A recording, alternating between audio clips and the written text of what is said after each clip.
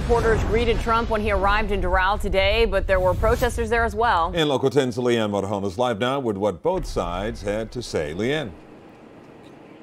Yeah, and they were excited to see him, many trying to make eye contact through his very dark tinted windows. There were a handful of detractors at one point, both sides uh, coming together and shouting at each other with some unsavory language. In the end, police did step in.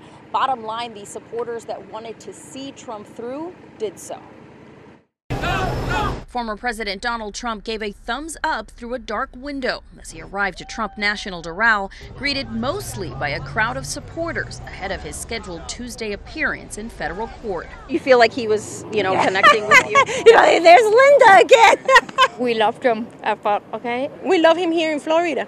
We love him in Miami. We follow him anywhere. And we'll do anything legal to, to stop this even though not everyone we spoke to said they read through the 44 page indictment or looked at the photo and text evidence contained therein, they all believe his legal trouble is part of a larger plot to bring him down. Doesn't go nowhere. This is another hoax, uh-huh. another liar.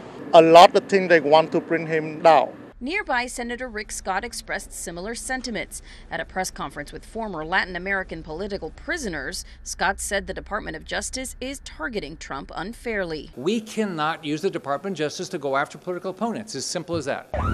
Back outside Trump National Doral, police stepped in to separate a handful of anti Trump protesters after a brief shouting match with Trump supporters. Lock him up! Dominic Santana got his point across with a sign and a jail jumpsuit. I grew up in New York City. I know what a con artist he is.